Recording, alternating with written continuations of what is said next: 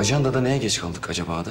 Bora Bey, Pırıl bana ilk görev listesini verdiğinde üstünde eşek kadar yazıyordu. Sabah ilk iş kalkar kalkmaz ajandanın üzerinden geçilecek diye yazıyordu. Biz şu an geç kaldık. Hemen geçelim. Hemen başlıyorum. Baktık baktık baktık ne var ne yok. Oyun değil, oyun indirmiştim de arada oynuyordum. Ee, Bora Bey, bugün üç tane toplantınız var. Hepsi öğleden sonra. Ee, biri Aylin Hanım'la, diğeri Burak Bey'le, üçüncüsü de Engin Bey'le. Evet. Bir şey daha var mıydı? Ee, he, hatta bugün saat 10'da yurt dışıyla görüntülü toplantınız varmış. Onu da yapacağız. Başka da ne var siz bana söyleyin. Ben onu hemen not alayım. Bugün müydü o görüntülü toplantı? Evet. Onu erteleyelim. Ne yapalım biliyor musun? Onu perşembeye erteleyelim. Perşembeye erteleyelim. Neden? Neden Perşembe? Bugün ne var ki? Benim başka bir işim var. Tamam mı? Hadi otur yerine. N- Nasıl bir işiniz var Bora Bey? Ben onu bileyim ki not alayım. Ben sizin kişisel asistanınız olduğu için benim her şeyi bilmem gerekiyor. Bileyim ki ona göre bir ajanda oluşturayım. Oluşturduğum ajandam... Sus. Sakin ol. Tamam. Bak şimdi ben elimi çekeceğim. Sen de bir süre konuşmayacaksın. Susacaksın. Anlaştık mı? Güzel. Hazır mısın?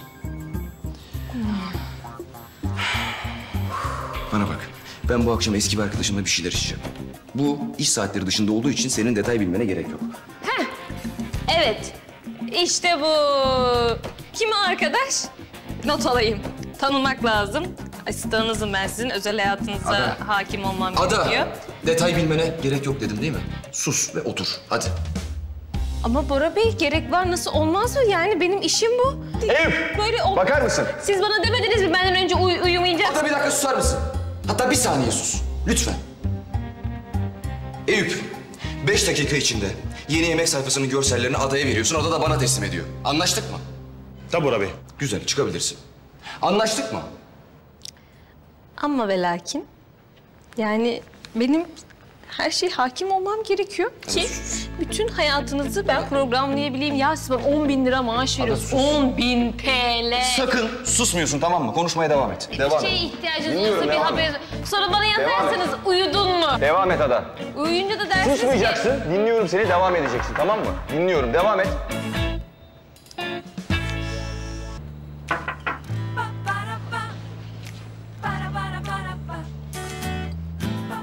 Neredeydin sen?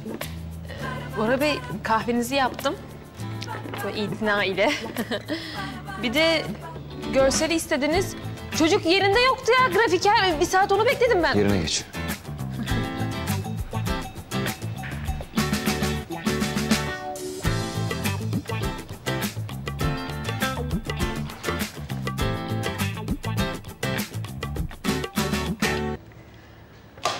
Bana bak.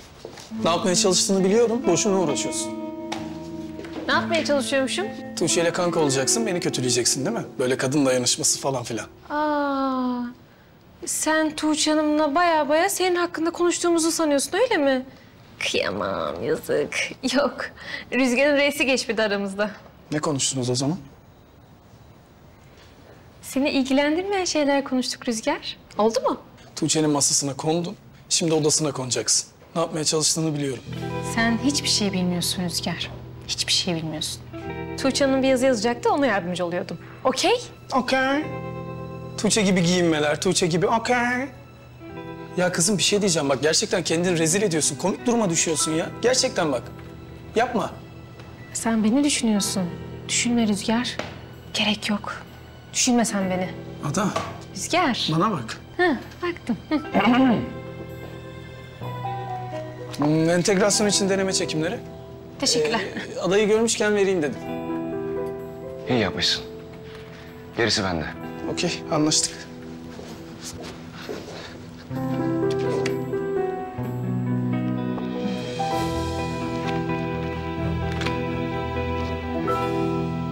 Ben çalışanlarıma değer veririm Ada. Bu değerin karşılığını da çalışma olarak almak isterim. Tamam mı? Hak- Haklısınız Bora Bey, özür dilerim. Ee, Şey, Tuğçe Hanım'ın acilen çıkması gerekince ben de yazıyı... Bir iş yapacaksan ilk önce benden izin alacaksın. Haklısınız efendim, doğru. Çok haklısınız. İş yerinde böyle şeylere taviz gösteremem Ada. Hele ki kaos yaratacak şeylere asla. Bora Bey siz siz yanlış anladınız.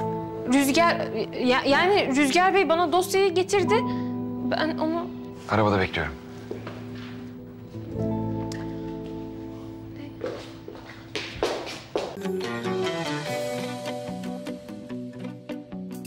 Aşk kendi seçer